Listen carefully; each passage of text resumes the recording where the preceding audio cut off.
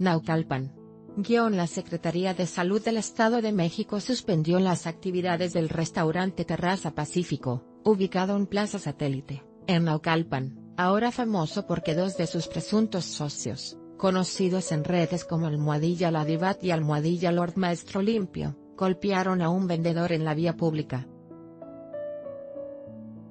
A través de la Comisión para la Protección contra los Riesgos Sanitarios, COPRISEM, se indicó que la suspensión se debió a diferentes violaciones a las normas sanitarias del Estado de México, incluyendo los ordenamientos relativos al control de tabaco, así como almacenamiento de productos químicos junto a los alimentos. Lee también, descubre si Salas y Cauteruxio del Cruz Azul mantienen una relación íntima. Este revés para Terraza Pacífico surgió días después de que presuntos propietarios del lugar fueron exhibidos a través de las redes sociales por agredir violentamente a un joven, argumentando que invadía su espacio en la vía pública y les generaba competencia desleal. Tras el escándalo fueron conocidos como Almohadilla Ladivat y Almohadilla Lord Maestro Limpio. Precaución, Imágenes fuertes. Por su parte, las autoridades detallaron los motivos de dicha suspensión.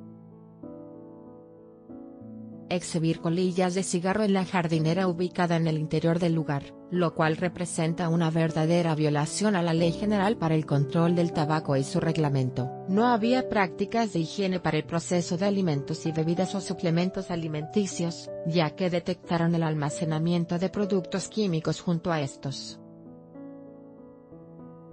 Una técnica inadecuada para desinfectar frutas y verduras, utensilios de madera en mal estado con presencia aparente de hongos, así como almacenamiento incorrecto de productos refrigerados y congelados. De ahora, senador del PAN intercambia fotos de chica, pregunta por el padrote incorrecta técnica de lavado de manos, pisos, techos y paredes con pérdidas de continuidad acumulación de residuos de alimentos y falta de limpieza uso de joyería por parte del personal de la barra de bebidas, y tarja de lavado de manos sin los elementos necesarios. Detección de caldo de camarón a temperatura ambiente.